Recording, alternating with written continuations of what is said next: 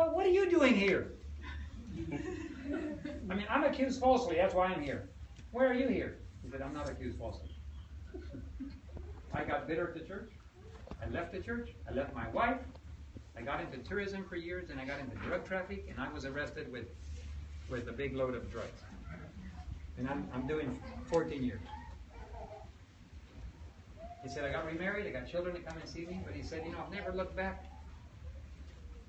I wish I could fix things with God. And then I said, now I know why I'm here.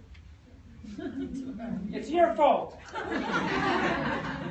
God loves you so much, He brought me here to take care of your problems. And I said, now I understand. You want to you want to fix things with God? He said, yes. Let's go off over here. I said, let's let's pray together and let's make things right. He said, I've never looked back. I've been afraid to look back. I said, do your parents know you're here? No. I said, it was your brother who works at the division right now who used to send me my paycheck. Yeah, that's my brother. Does he know where you are? No, my family doesn't. Only my son knows where I am. Well, you need to talk to them. I said, your parents must be mighty old now. They're, yeah, they're in their 90s. And they don't know where you are? Man, don't let them die without talking to them. Well, I've been embarrassed. You don't have to be embarrassed anymore. We're going to make things right with God. And he did make things right. Amen. And we continued working there. And one day the prison director came to me and he said, I've been watching you for all these last couple of weeks. He goes, You Adventists are incredible. You come in, supposedly you're criminals, and you bring in medical work, you bring in food, you bring in clothing. He goes, Man, I've been watching to see if you hang out with any criminals. You don't even know any criminals. We got a lot of criminals in here, and if you were in the criminal world, you all know each other. He said, you would go by, they, they actually put the names of the criminals that you do, that you, they actually wrote down on your accusation which criminals you do business with. Some of them are here. You don't even know them. I've been watching you. You walk right by them. There's 470 prisoners in that prison. If you were friends, you would at least say hello to each other. It's obvious you all are innocent. He goes, so let me tell you what I did. I went down to the courthouse and I looked up the prosecuting attorney and I told him, you're a liar. Hmm. And he goes, well, but you know those two guys you threw in from the Adventist church? They're not criminals. Well, but, but you know how the system works. We needed the airplane. Yes, I know how the system works. And I went them released. And if you don't do something about those charges, because they're innocent, he said, if you don't do anything, I'm going to write you up in a newspaper as a corrupt prosecuting attorney. He threatened him. And the guy said, well, well uh, no, don't do that. I'm, I'm sure we can work it out. this is what he told me. And he goes, guess what? My heart started to hope. he said, guess what? He's agreed to drop the charges. Go get your things. I'm sending you home. Why didn't God tell me that ahead of time? when he said, if you'll do the medical work, I'll set you free. That's not how God works. God wants us to trust Him no matter what. Amen. That's the kind of trust that honors God and in turn allows Him to carry out His will in our life. Amen. So many times we do our own thing. And when we do our own thing, we mess things up. God's way is always best, even if it leads to the fire or the water. He will carry you through. That's the promise. He will carry you through. But you have to trust Him. It's all about faith. And here this week, this is one of the gifts that God has given me, is the gifts of faith. And I want to share that with you, that conviction. I started, I told the Lord, I want to do, I want to do great things for you. I want to build on what my parents and in-laws gave me, but I want to go much further and reach much more people. And God said, okay, but you got some hard lessons to learn. You want to be special forces? Okay, you got it, but it's going to cost you. Well, that's what God is training today. And every time you go through a difficult time, remember, it's a stepping stone to trust God. It looks dark. It looks impossible. It looks like this is the end. It isn't. It's the beginning. If you just keep trusting, you come through that cloud. My wife and I fly through a lot of rough weather. And when you go through the rough weather, we look at the we look the airplane I'm flying right now has radar. I haven't had any airplanes before that had radar. This is color radar. It is real nice. It it scans this way and you can turn it to scan this way. So you can see if the weather where it is ahead of you, and when you scan it up and down, vertical, It tells you if the weather above you, below you. So you can, you know, it's, it's a 3D image. That was a very expensive radar, but the guy who donated the airplane to us, he ordered it. That little piece of equipment cost twenty thousand dollars. And he said, "I want you to have it." And I go, "Man, luxuries of all kinds. I can't put it in." yes, sir. I'm paying. I can't do it if I want to. So he put it in, and now I go to the weather. I go up, down, left, right. I go through this weather, but sometimes we go through the weather and it gets very turbulent. Boom, boom, boom, boom, bang, bang. If you don't have your seatbelt on, your your head, you get you get your your spine adjusted when your head hits the ceiling. bang, bang, bang, bang, bang, bang. But eventually, in airplanes, you see, they have, they have this conception in the public that if an airplane goes through turbulence, the wing falls off. It doesn't fall off. Only if you go too fast. Whenever you have turbulence ahead, you just pull the power back. You go well, go below your below your maneuvering speed, which is the speed that's authorized for turbulence, and you just wait.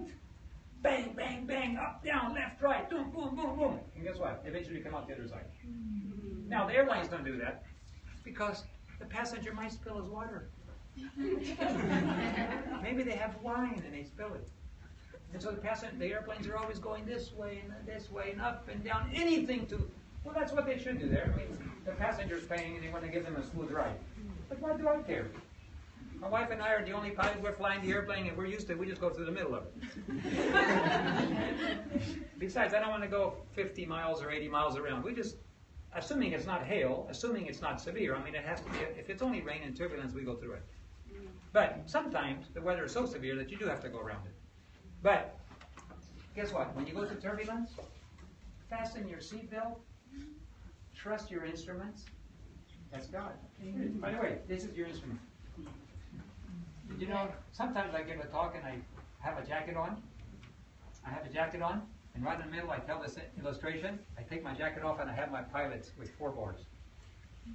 They go, oh, the captain's suit. Yeah. What I'm trying to illustrate, what I'm trying to illustrate is that the church is like the airplane. It's powered with fuel called the Holy Spirit.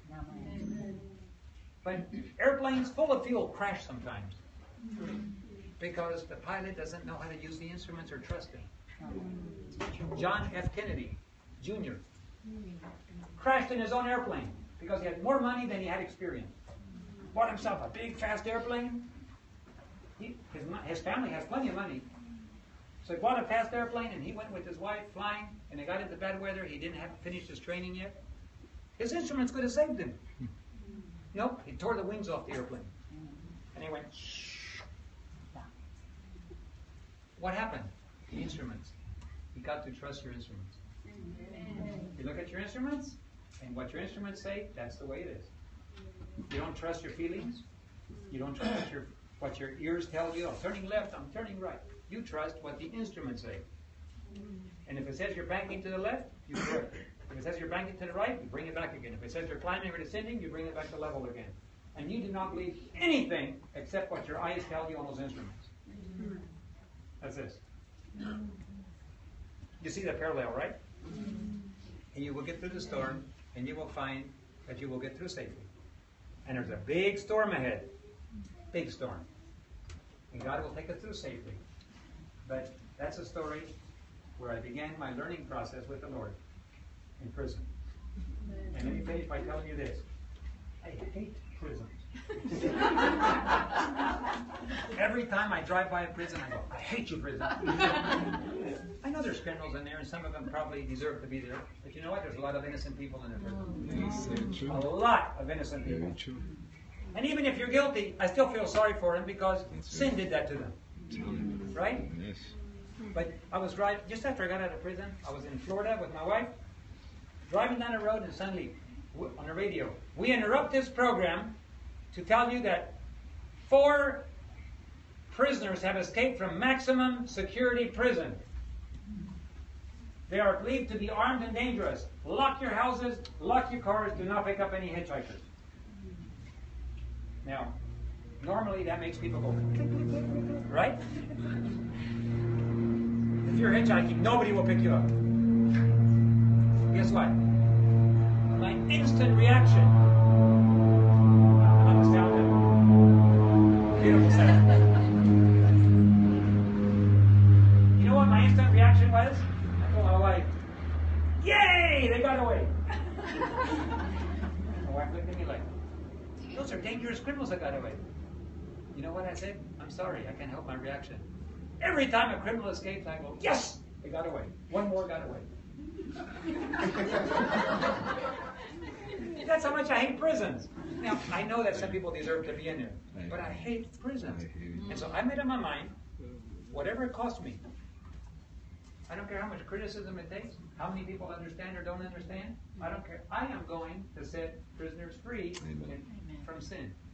Amen. I'm going to go everywhere in the world that God sends me, and I'm going to put into place media, education, evangelism, radio, medical work, whatever it is, anything to set people free from Satan. Because Satan is a prison is a prison prisoner holder number one, the prison house of sin.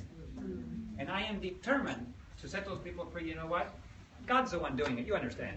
But I've decided, Lord, count. Here am I. Send me. Amen. And God said, it won't be easy. Ah, I always love it when when you hear of. Do you remember a long time ago when in uh, in Uganda they, they hijacked a plane and they took they took all these prisoners, uh, all these hijacked people to Entebbe Airport. Some of you old enough to remember that. Anybody remember? Maybe the older we get, the more we remember, right? well, they took the, the, the hijackers took this full airplane, uh, and they had a lot of it came from, came from Israel, I recall, and they had a lot of Jewish people on board, and they, they held them there, and they they were they were uh, having they were holding them hostage, and they were said they were going to start killing them every hour if they didn't pay this all this hostage stuff, and and the whole world was going. You can imagine the family members. One night, in the middle of the night, with no lights of any kind, just using night scopes and and navigation equipment, the Israeli the Israeli government landed all these military planes on the far end of the runway. And the whole field filled up with soldiers. And suddenly, boom! They burst through. They put in these big explosives that shock people. I mean, it's like it's a bomb that when, when it goes off, you go into shock. It doesn't kill you. You go into shock because it gives you such a bang, like somebody hit you with a baseball bat. It doesn't. It doesn't permanently injure you. It just you can't do anything. So they they exploded that and they went in and they rescued every single one. Now, that to me, though I'm, I don't care which country it is and what happens, all details, but to me is exactly what I would like to do with Satan's prisons. Go where nobody's gone before. Go where the darkest there is, and go where sin has reigned, and just say, Lord, take me there. Go there. If He lays it on your heart, and God will help you to rescue those people, just like that. Amen. And Amen. that's what our job is. We are special forces. We need to develop special forces mindset. Wherever the, by the way, you know what special forces do? They take commands from directly from the commander in chief. Hmm. Listen carefully. Hmm. Today, most church members take commands from humans. Hmm. Most church employees are are respecters of men more than respecters of God. You obey your president, you obey the next president, you obey the next level president. Even if you know something is of God and they tell you no, most employees will say, Well, I was told not to do that. And I've learned that we got to change our mindset. Of course, we want to be loyal to the church. I mean, am I supposed to be loyal to my wife? Of course. But if I'm more loyal to my wife than to God, there's a problem. Our first loyalty is to God rather than man. We must be loyal to each other. We must be loyal to our spouses. We must be loyal to our administration. We must be loyal to the church. But never in first place. First place, we're loyal to God, and then the loyalties fall into place. Amen. So we've got to get this clear. Special forces are always loyal first to God, and then everybody else. Is that clear? Amen. God's going to do a great work. Greater days are ahead. Special training is difficult, but after you go through it, I don't have any muscles. In Spanish, they call me the chemist, el químico.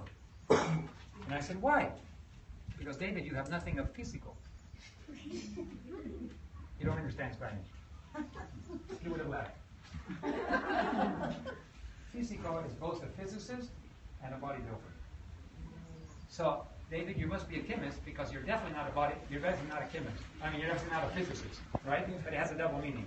Since you have, you don't have a body build, you're not a bodybuilder. You must be a chemist. And I said, well, it's true. I don't. I don't know. I, my youngest brother, ten years younger, he became a bodybuilder. And we just laughed at him. He worked every day and every day and every day. I can't eat salt. I can't eat this. One day, my mother opened the refrigerator and says, "What is that dead thing in my refrigerator?" My little, brother said, "That's a chicken." I have to eat it because I have to build muscles. Get that dead thing out of my refrigerator. and don't ever bring back anything in my refrigerator. So my brother got some other alternatives. He, be, he became one of the first vegetarian uh, bodybuilders. and you know, one day he came home with a trophy, and came back with another trophy, and one day he brought a magazine, front page of Muscle magazine. Let me tell you, that's that's something when you can make the Muscle magazine.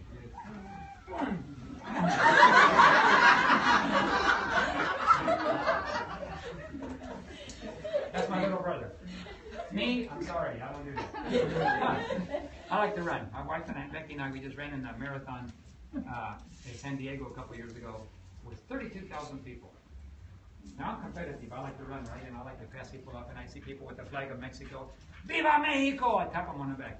Viva Italia! You know, and, and they would run along, and they would yay, yay, yay, and we were just running. Sometimes they pass me up, but but it's fun to pass others. But my wife, she's not competitive. But when she was running with 32,000 people, she started loving to pass people oh. up. And I never saw this in my wife before. But when you have that many people, it adds energy. It makes you want to do that. I saw a T-shirt that said, "Dear Lord, please let there be somebody behind me to read this."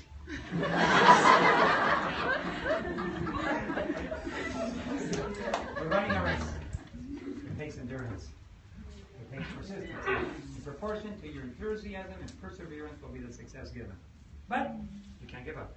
Understand? I watch my brother never give up. If we're going to be successful in special forces for God, hang on to Him, fill your mind, keep going, keep going, keep going. I'm going to die. No, you're not. Keep going. Yes, I'm dying. No, you're not. I can survive it. God will give me the strength, and someday we'll emerge prepared and anointed for the battle. Amen. You and me as we pray.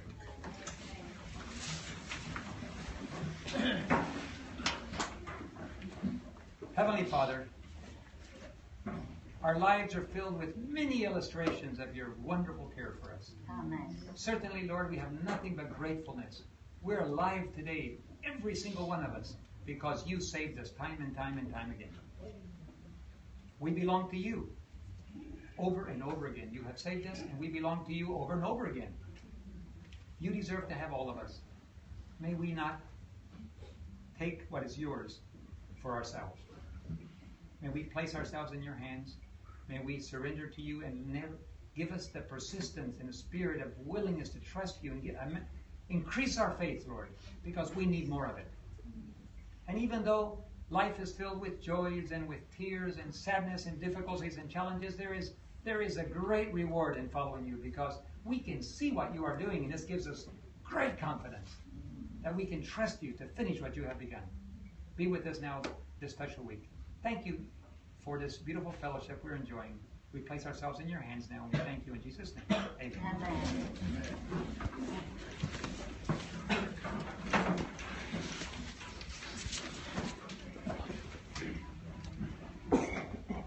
Hey, what's going on, going, brother? bro? Good to see you, Likewise, man. man. we gotta talk a little bit more, man. YouTube, man. oh man. What's your take on um, Carson? Oh man, we gotta have to talk about that. Yeah. Yeah, yeah, yeah. Okay. You- you- people are watching you right now. Let me just Good to see you, bro. Good to see you.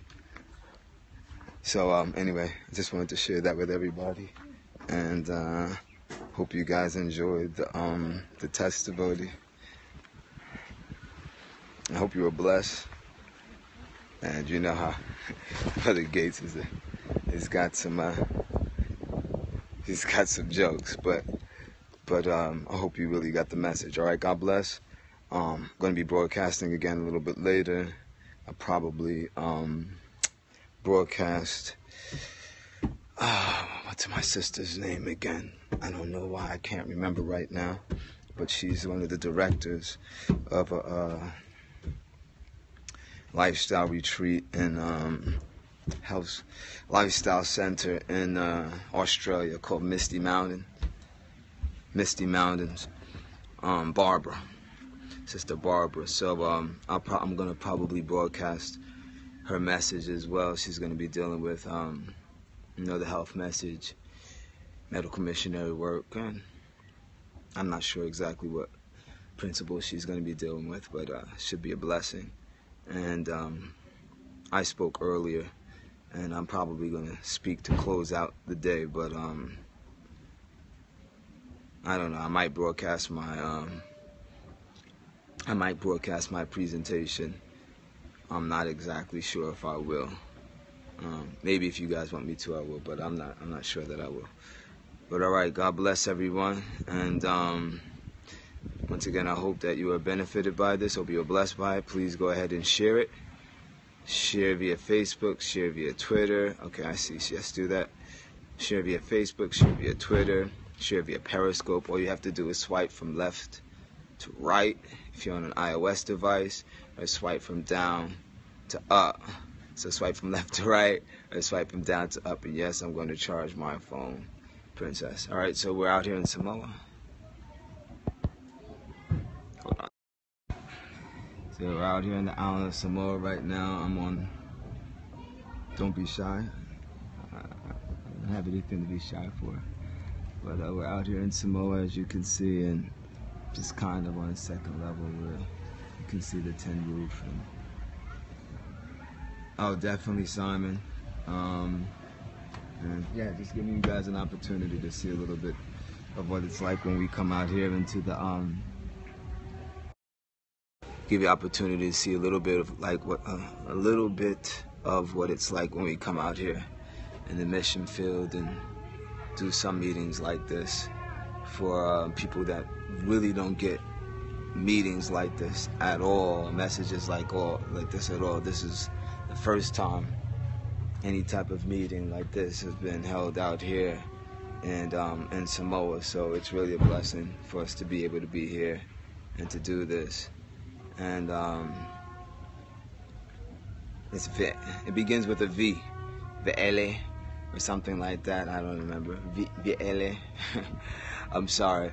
To be quite honest, when I go to different places in the world, sometimes I get on the plane and I really don't even remember where I'm going until I get there.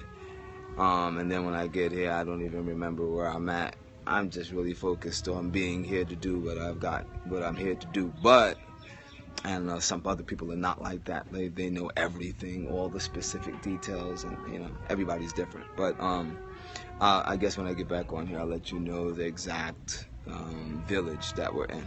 All right. So God bless. Take care, and um, my brother Simon, and um, and that's it. All right. So take care, everybody. God bless.